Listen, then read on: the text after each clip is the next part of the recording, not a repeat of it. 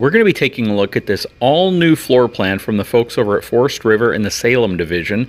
This is called the View, and they've done some pretty remarkable things that I've never seen before in the industry. So, this 29 View is going to have an unloaded or dry vehicle weight of 7,897 pounds.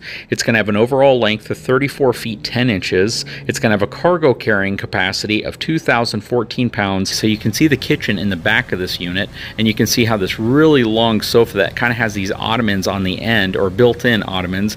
I guess you could kind of consider these more of a lounger or a chase. But yeah, it gives you some really great space in the living room area. So check this out. So you got storage right here and you're thinking this is just cabinetry, but look what's hidden. This is something you've never seen before. Check out this space. So in the slide itself, behind the entertainment center, you actually have a bunkhouse.